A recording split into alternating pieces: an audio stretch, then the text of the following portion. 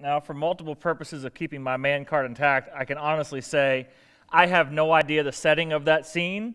Uh, I don't know anything about the context. I don't know anything about Ouiser Boudreaux or even how you pronounce that name. I don't know why anybody would ever give their eye teeth to give a whack a Ouiser. I didn't even know what eye teeth were until I Googled the term and had to look up and find out that eye teeth were the canines because they're right in line with the eye. Um, I don't know anything about all that. However, I do know what it's like to feel in that moment those questions of why, why, why, why. I know why, how it feels to be so angry. You want somebody else to feel what it is that you are feeling at that moment, even it means to take your anger or your sorrow or your pain out on somebody in the form uh, of anger. And in short, in a situation like that, I've been in those situations where I, I'm in what we would call a senseless situation, and I'm still asking for somehow for God to make sense of a senseless situation and asking why. Now, as we looked at last week, there's a couple problems with the question of why. Uh, one of the, the problems is sometimes the answer can't be immediately known. So while you're in the midst of your pain, suffering, or loss, you want to know why you're going through it. But the, the answer is not something you'll, you'll know until later on down the road. We saw that in the life of Joseph, is that his brothers sell him out. Potiphar's wife sells him out. He's then sold out again when he's in prison. And years down later, somewhere between 15 to 30 years later, he's able to look back over it and say, you know, what was meant for evil, what people did to me, and all the ways I've been done wrong, God was using all of that uh, for the saving of many lives. I, I see now God's purpose and plan. So he can see it looking back, but you can't see it often when you're going through it. Uh, another reason uh, why there's a problem asking the question why, as we see in the book of Job, Job's never told why. And God sort of explains to him towards the end of the book, he's like, even if I could tell you why, you wouldn't understand the answer. It, in the same way that I've, I've asked every time I get on an airplane, I, I, or I've seen an airplane fly, I look out there and I think to myself, how could something six times the size of a school bus just lift up off the ground?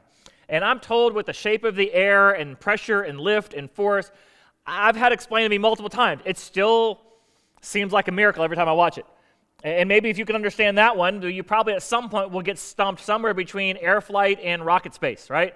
Because we're not rocket scientists.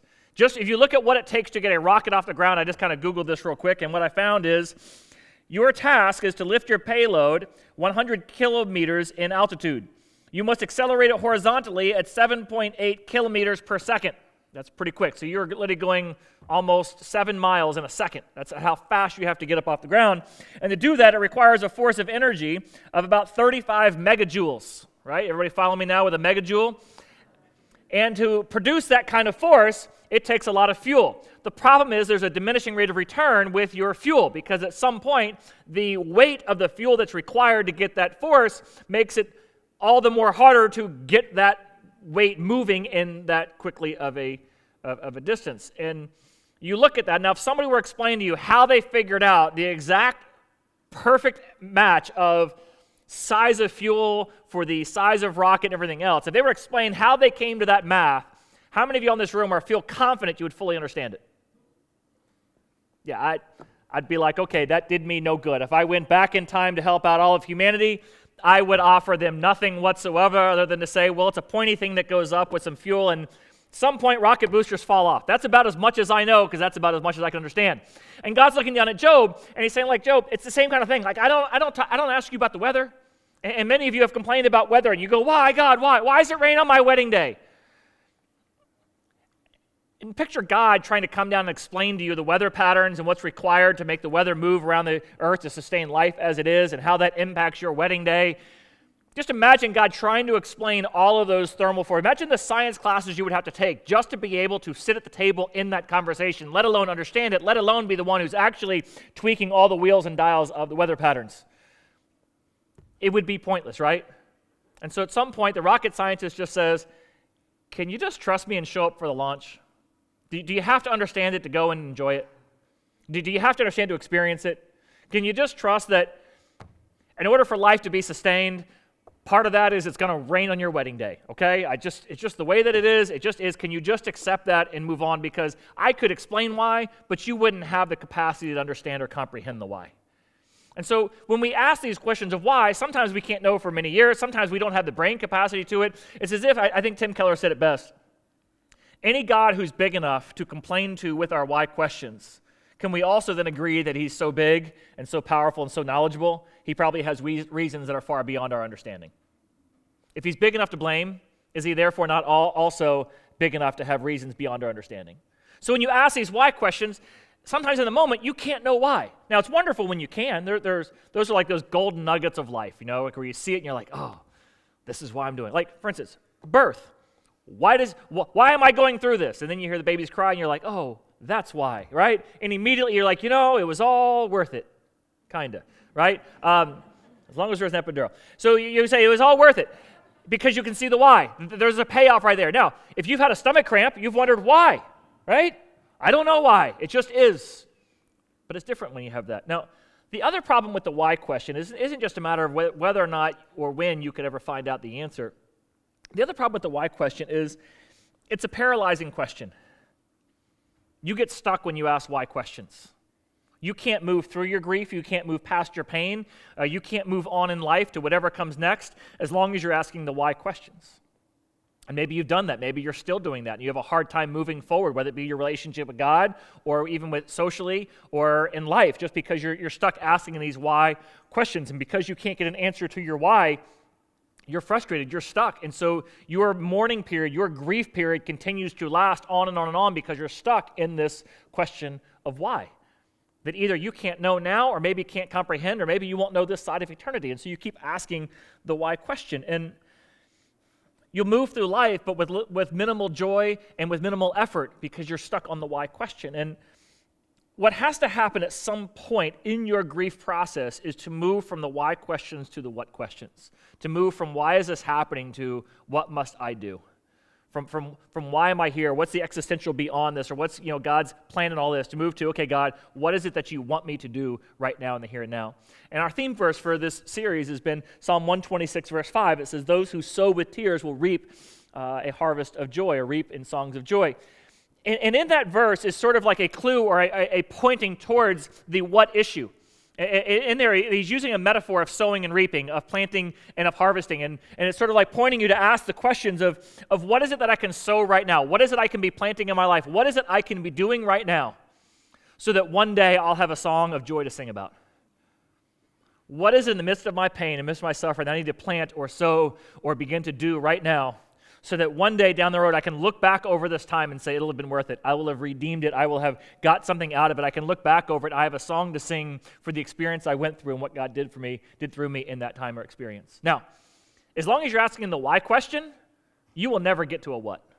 You will never even bother with planting or or ever someday harvesting or reaping. Now, to begin to look at this issue of, of why and, and how you are sorry begin to look at this issue of, of the why question that turns to a what answer. I want to go over to uh, john chapter 9 where jesus is uh, in a situation where this why question comes up. Why is somebody experiencing this? Why are they going through this? And jesus begins to his why answer is pointing them towards a what answer.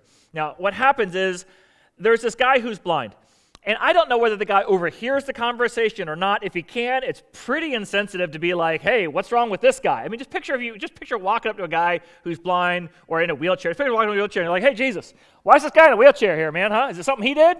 Just and the guy's like, uh, "Well, thanks for letting me be your illustration today." I, I don't know how it played out, but they end up interacting with him later on in the story. We won't get to that. I just want to do the first part where in John chapter 9, verse 1, it says they went along, they see this guy who was blind since birth, and so they say, Hey, Jesus, why is he blind? Is it something he did or something his parents did? Right? Is it because he got a Red Ryder BB gun for his, for his Christmas when he was nine years old and he shot his eye out? Is that why he's blind? Is, is it because of that? Or is it because of something his parents did? Did they make some mistakes and this was sort of a punishment on them? Uh, why, why is he blind? What did he do? Because in their moralistic framework, we looked at this a little bit last week, in their moralistic framework, I have this understanding that says good people have good things happen to them, bad people have bad things happen to them. Here's somebody who had a bad thing happen to him. Therefore, the only question is, is who was the bad person? And the thing about our why questions is, in one hand, we know that life is complex. We know that the topic of suffering is complex. We know the issue of pain is very complex. As a matter of fact, philosophers uh, will spend a lifetime of reading, studying, writing, and philosophizing, if you will, or thinking about the answers to the questions of why it is we go through what we go through. And even though we know that to be true, and even on the Christian side of it, uh, you, take a lifetime of study in God's Word just to have a, just to scratch the surface of knowledge to be able to begin to understand the comprehensive picture of suffering. I, I don't have one verse I can just go, okay, everybody, let's turn our Bibles to this verse because this verse explains pain and suffering to us. There isn't. But I can tell you that these scriptures, from beginning to end, are full of the explanation of pain and suffering the complexity of it. And, and just in a four week series, I am just barely scratching the surface of any understanding of this. I've spent my entire lifetime of going through pain and suffering and trying to figure it out just from a, a biblical perspective with all my background in study and learning. And I feel like I'm still just barely beginning to understand what God has to say on the topic. Yet, for some reason, we still want to cry out to God, and God have give us just sort of one quick broad brush answer. Why is He like this? Just give me the simple answer. Was it something He did or something somebody else did?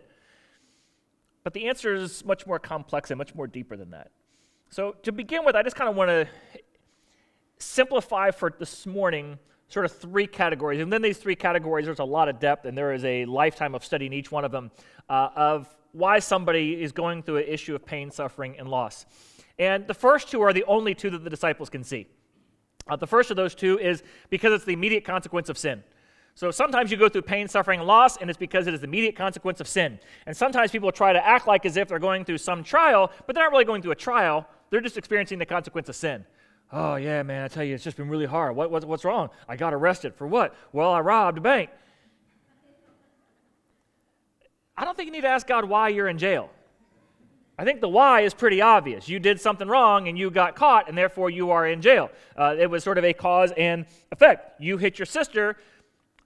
Don't look at me and say, why? Don't ask me why you're in trouble. You know why you're in trouble. You're in trouble because you hit your sister, and actions have consequences. Sin has immediate consequences. So sometimes the reason why you're going through what you're going through is simply because it is the immediate consequence of a decision that you've made somewhere along the way. Uh, if you're texting while driving, get in an accident, don't ask God why you got in an accident. Ask yourself why it is you thought you could drive a car without using either hand or looking at the road. I mean, the things that are very vital to it, you decided not to engage in, and then you got an accident. You wonder why it happened. It was immediate consequence of your decision. Other times, what happens is a little bit harder to put the cause and effect together because it's a very delayed cause and effect. And this is the principle you see in Scripture of sowing and reaping. When you plant something, it takes a while for it to grow up out of the ground. Over in the book of Hosea, he uses this metaphor throughout the book of Hosea. And he says in Hosea chapter 8, verse 7, what you, you, when you sow the wind, you will reap the whirlwind. He goes to explain it even further in chapter 10, verse 12. He says, When you plant seeds of righteousness, you'll reap a harvest and a crop of my love. So you need to plow the hard ground of your heart, for now is the time to be seeking the Lord, that he might come and shower salvation upon you. He says, However, if you've cultivated wickedness and raising up a thriving crop of sins, what, what metaphor, huh? If you've, if you've you know, planted all this messed up thinking, he says, you raise up a crop of sin, what you've earned is the harvest of the, uh, the reward of trusting in a lie. For, so what this is, looks like is you're 65 years old, you get diagnosed with psori- uh, uh, psoriasis of the liver. Is that it? Psoriasis? Cirrhosis. Cirrhosis. Psoriasis of skin. Cirrhosis of the liver. Maybe you could get it. I don't know. I'm not a doctor. Uh, cirrhosis of the liver. And the doctor looks at you and he says, Hey, do you have a drinking problem? He says, Well, yes, I've been drinking all of my life. He says, Well, that's why you have cirrhosis of the liver. In that moment, don't cry out and ask God, Why? Why me? The doctor just told you why you. The why of you was because you made a choice to turn to alcohol your entire life, and this is sort of a consequence of those decisions over a lifetime. Other times it's things like you've got this pattern of lying and cheating, and you did it in school, and you lied to your parents, and you lied to your friends, and then you lied at your work, and then all of a sudden you find out that nobody will trust you with a job, nobody will trust you in a relationship, and you wonder, why is it my life? Why is my life like this? I'll tell you why. You are reaping what you've sown for a lifetime. This pattern of deceit and lying and cheating is just where this leads. You see selfish people who only care about themselves and then find themselves one day all alone and they say, How come nobody cares about me? Because you're the only person who cares about you. You care about yourself and you care about nobody else, so nobody cares about you. It's just that's a part of sowing and reaping. Now, it took a long time to get to that point. It took a long time to harvest what it is you've been sowing all your life. But at some point, either through a friend, a counselor, or your own introspection, you can move to the point where you can answer the why question if you're honest with yourself. And so when they look at this guy who's blind, they go, why is he blind? What did he do? Did he do something or did somebody else do something? Is this just a long term effect of sin? What, what, what's really going on in this guy's life? And Jesus points to the third reason for why we go through stuff, and this is where the uh, issue of, of the why really comes in, and that is we have to understand we live in a fallen and broken world.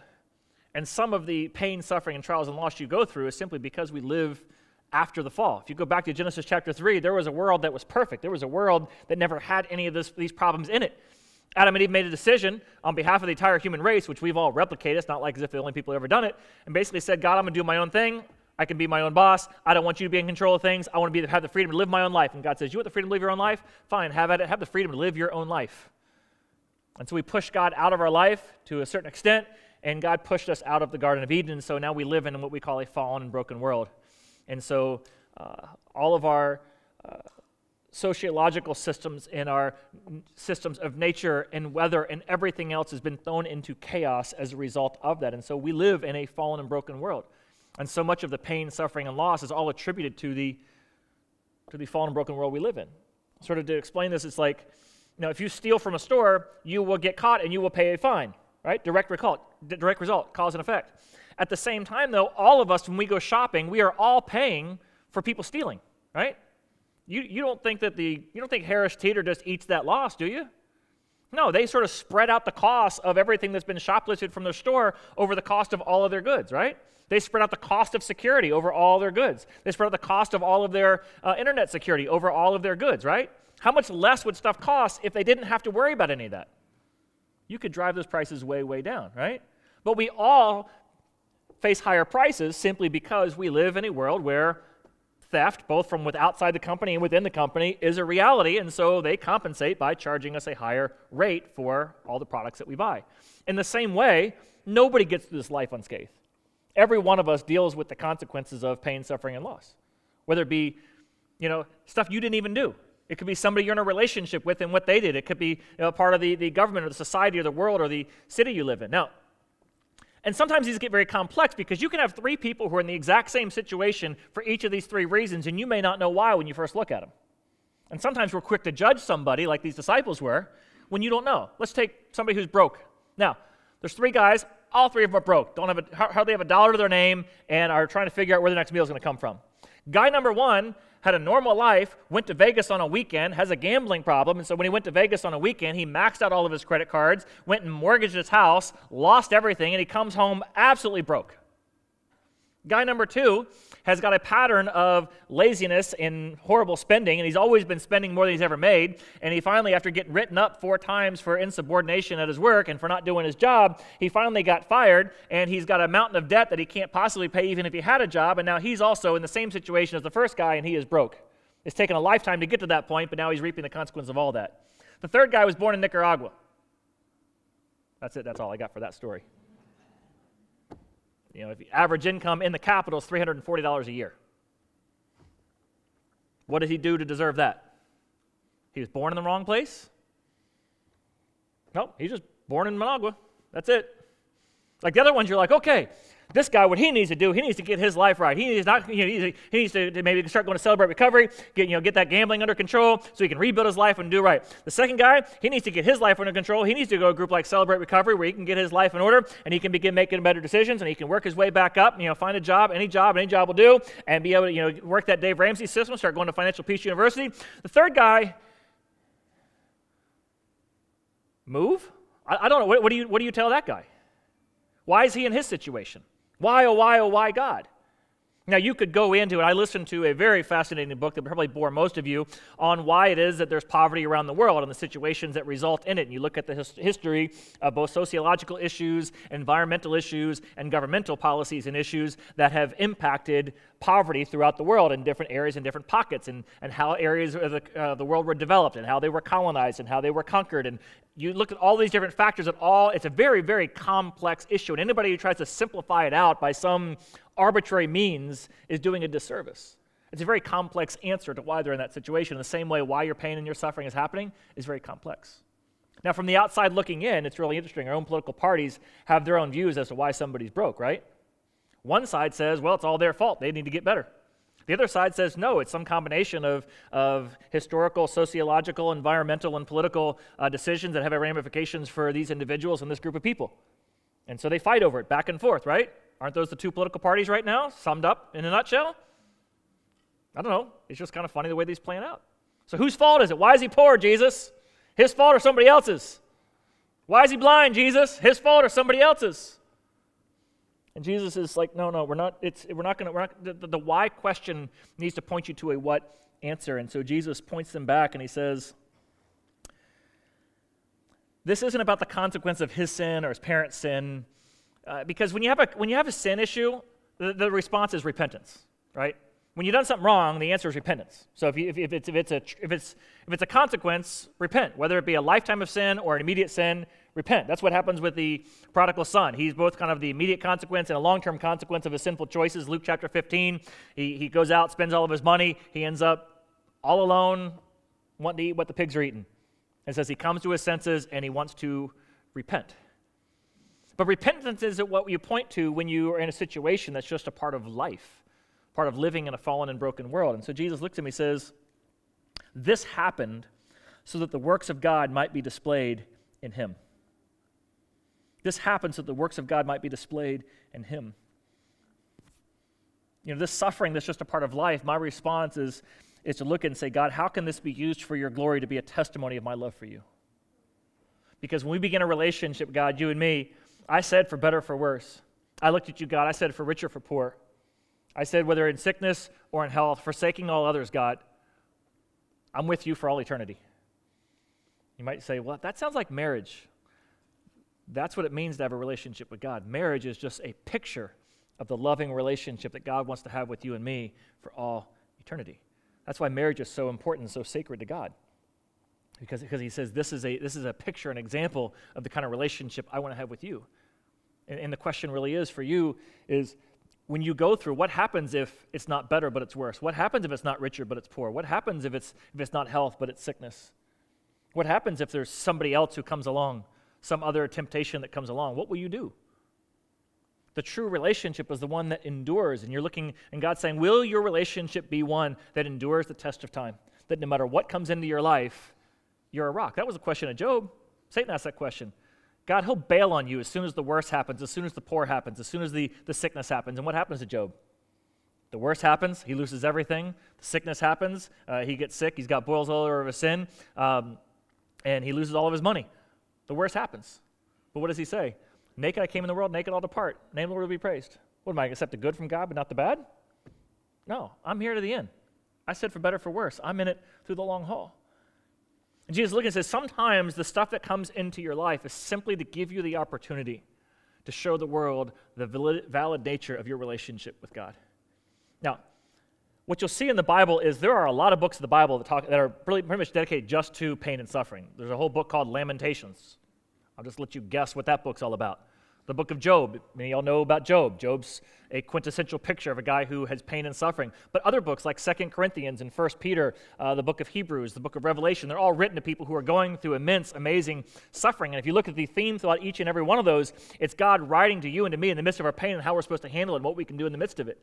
I'm just going to summarize the book of First Peter to you. I'm going to go through First Peter uh, chapter 1, 2, and 3 to show you some highlights and show you clearly he's talking to a group of people who are going through suffering. We, we touched on this a little bit last week. He says, he says, In all this you greatly rejoice, even though now, for a little while, you may have had to suffer the grief of many kinds of trials.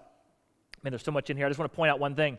When he says, right now you're rejoicing, he also says, right now you're going through trials. There's present tense on both of those verbs. Most of the time, I can rejoice looking back over it and I say, okay, God, I see what you did there. Or thank God it's over. I can rejoice in that. Or thank God for my healing. I, I, can oftentimes rejoice in hindsight, but it's really hard to rejoice in the present or rejoice with foresight. To say, God, I know you. Like that song we just sang a minute ago. For some of you are singing that, you know, God, He's never failed me. Some of you are looking back over your time and you sing that song rejoicing over a time where God's healed you or come through for you. The hard place to sing, though, is when you're in the midst of it and you're in the fire right now. Right? When you're down in the valley or you're trying to climb up a hill and it doesn't seem like there's any light at the end of the tunnel and you're wondering, God, are you there for me right now? That's the hard part to, to continue to rejoice in the midst of it. He says, No, we rejoice, even though now for a little while we face all kinds of trials. And he says, These all come into your life. Why? So that God's good work might be displayed in you. That's what Jesus says. He says it here. He says, um, so that it would prove the genuineness of your faith. That you have a legit relationship, that everybody would see, you know, I've seen a lot of Christians who, who talk the talk, but as I see you walk through this and I see the way that, way that you've gone through pain and suffering and loss and heartache and betrayal, there's something about your relationship with God that I don't see everywhere else. It says that it would be a testimony to this. It says it might result in praise and glory and honor when Jesus Christ is revealed. People look.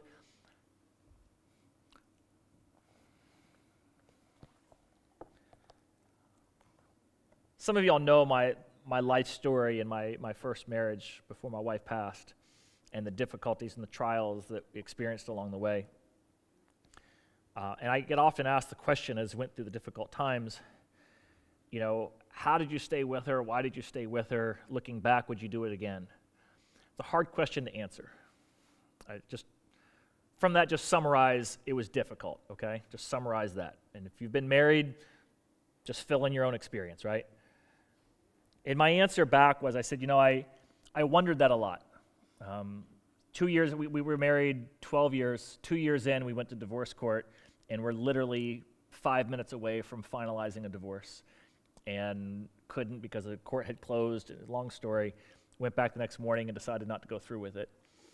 And I often wondered should I have gone through with it because of how difficult things were. And the honest answer is I didn't know until I was holding her in my arms watching her die. And in that moment, I had this sense that that was the one decision that I'm more proud of than anything else I will do for the rest of my life. Period. Um, because I was able to look to God and say, God, my baby girl, she's broken. She needs your healing. It's only going to come from you. But she's in a lot better place now than she was when I met her. And I've been faithful to the commitment I made to her, and I give her back to you. And there's this moment where, just as Jesus came just to take her away, you have this moment where he says that it would result in praise and glory and honor for Jesus Christ. And may the suffering you go through might be an opportunity for God's work to be displayed in your life. And he goes on into chapter 2 and he says, he says there's these other situations now, and there they have a system of slavery. Is their economic system just focus on our own situation where we have people, employers, employees. And he says, you know, there's sometimes where you have these situations where you work for a good boss and everything's good, but sometimes you work for a really bad boss. And even though you don't do anything wrong, you're still punished harshly for it. You're treated horribly for it. And some of you have been denied promotions, you've been looked over, and you've been fired, or you've been sort of put out, all because of no fault of your own, just because of the way the system is, or because whoever it was you were working for, whoever it was who gave you your fit rep, or whatever it might be, has just totally messed you over along the way. And he looks back over and he says, listen, if you suffer because you were an idiot at work, nobody's going to pat you on the back for your suffering. They're going to look at you and say, You were an idiot at work, right? Nobody feels sorry for that. He says, But when you go through a time of suffering and you handle it with grace and with dignity and you continue to lean into God and say, God, I don't know what you're going to show me in this situation. I don't know what's going to come out of the situation, but I trust you for wherever you're leading and whatever you're going to do in this, that you got my back and you'll always be with me. There will be people who will look at that and go, I want some of that in my life. And that's sort of a summary of what he talks about in chapter 2. And then he gets to chapter 3 and he says, you know, after all, he sort of summarizes, he goes into some other stuff and he sort of summarizes up that sort of thought in chapter 3, verse 13. He says, you know, after all, who's going to harm you for doing good? Like, well, okay, even sometimes that happens, but you're going to be blessed if that does happen. And then he says this statement he says, just keep in mind, everybody's going to suffer, okay? He says, but it's better if it's God's will that you suffer for doing good rather than being a moron. I'm taking some liberties with the text, but you, you read it and you'll see if I'm right or not. When it, 1 Peter chapter 3, verse 17. He basically says, you know, every, you're, you're going to have suffering and pain in your life, right? You can't be good enough or moral enough or righteous enough to avoid suffering because we live in a fallen, broken world. That's why bad things happen to good people. So it's going to happen. But there are sometimes you've gone through pain, suffering, and loss, and you look back and you go, yeah, I was an idiot. There are sometimes you look back over it and you go, you know, God, I didn't do anything to deserve this. But I'll take the good from you just like I'll take the bad from you. And I'm not going to blame you or get mad at you. I'm just going to accept it and allow you to work th- through me in it. That's what Paul does in 2, th- 2 Corinthians chapter 12. He says, Three times I prayed, God, take away this problem, take away this problem, take away this issue, and God never does. And he says, All right, God, if, if, if, if I'm stuck with it, I'm stuck with it. But here's what this does because of this weakness, it's going to force me to rely on you so in the end, whenever I do anything or accomplish anything, people are going to look at me and go, it certainly wasn't that idiot who did it. Clearly, God must have had some hand in this along the way because you're not much to look at. And he's like, and you know, that's the best, isn't it? And somebody can look and say it was clearly God. Like those times where There are sometimes where people come back and they say, Hey, uh, I just had this, you know, I went to the doctor and I took this medicine and now I'm all better. And we go, Yay, praise God and medicine, praise God and medicine. There's other times where you go, Doctor's got nothing, but the tumor's gone.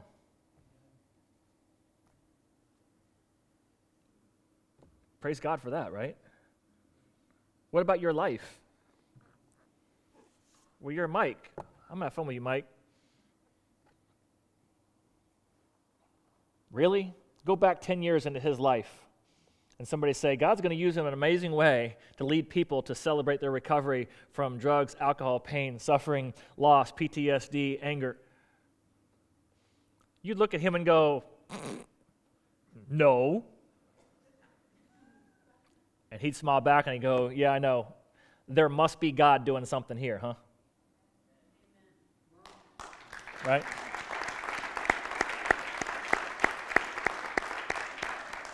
I don't know why. I know the reason he went to jail is because he was an idiot. but what he meant for evil, God used for good. And there were a lot of other pain and suffering that came into his life that weren't in those first two categories. They were in the third, if you know his story. Why? Jesus would say, so that God's good work and purposes might be shown through him. And you see these things lived out. And it's an encouragement to all of us that there is a legitimacy to this thing about God. People may want to argue you about evolution, they may want to argue you uh, about all different kinds of issues that relate to whether or not there is a God or not. But you can't argue that. And there's no other explanation for it. So, why did all that happen? I don't know the big why, but I know what Mike's done. And what he has done has resulted in what Jesus said so the good works of God might be displayed in him. May that be your testimony that when you go through the whys of life, you stop for a moment and say, God, I don't know the why. I don't even know if I could ever possibly comprehend the why. I would love to know the why someday, whether this side of eternity or the other. But right now, help me move from the why to the what. What can I do to plant? What can I do to sow? What can I do to begin to seek out an opportunity? That one day I'll look back and have a testimony about this, a song to sing about this, that I'll, that I'll be able to bring all people into a relationship with you because of what I've gone through in the midst of this situation. Let that be my life and what this is all about for me. We join things we pray.